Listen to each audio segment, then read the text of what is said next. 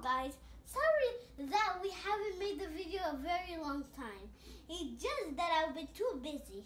Okay, now we're going to um begin with this. But before we we begin, I'm just going to tell you why I have all of this to talk about. It's a lot because like today in in the morning we went somewhere called called the book fair. If you know the book fair, it's in Tucson at the the U of A. It was open at Sunday, I mean Saturday and Sunday. So let's begin. This is the whistle. This is how it works. You put your mouth from on on this side or this one. I'm gonna put mine on here, and then you like blow. it's kind of funny. Okay, now for the next. Next is this. You can measure things. This. This is how you measure. First, you click this, then you do that. See? Can't you see the numbers? Now, the, um, the U of A is open every spring. I mean, the festival. Okay, now what do we get next? Hmm, I think. Ah, this. We'll get on with this. This is the Pete the Cat newspaper. It's not like a real newspaper. This is all the stories of Pete the Cat that's made.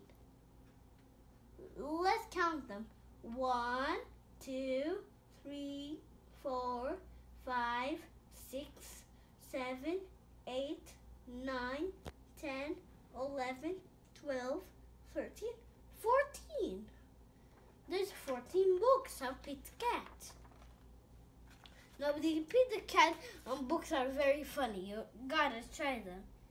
Now, ah, I'm gonna get, um, let's see. Ah, I'm gonna get this one next.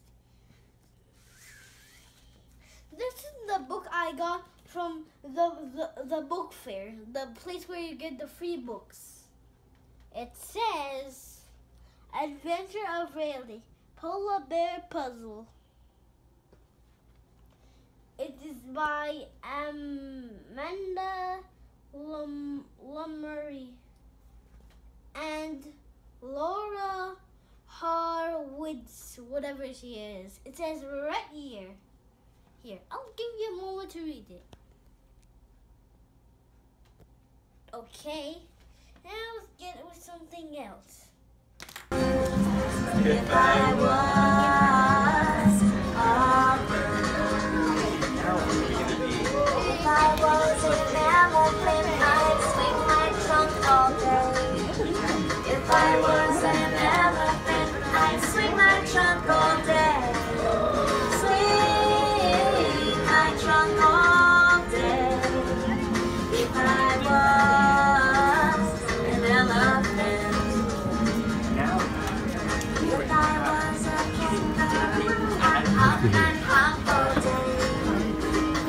Was a kangaroo, I'd hop and hop all day.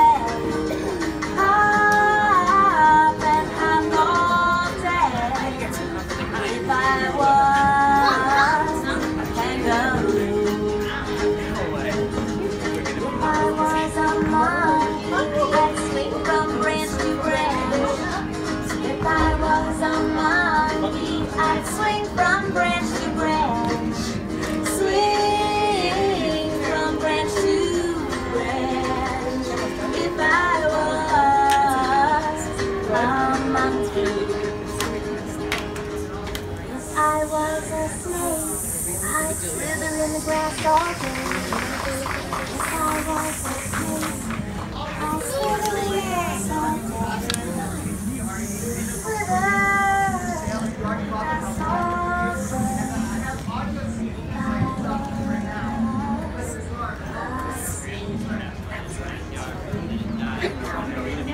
Really fast. On your marks. Get set. Go! I was a. If I was a real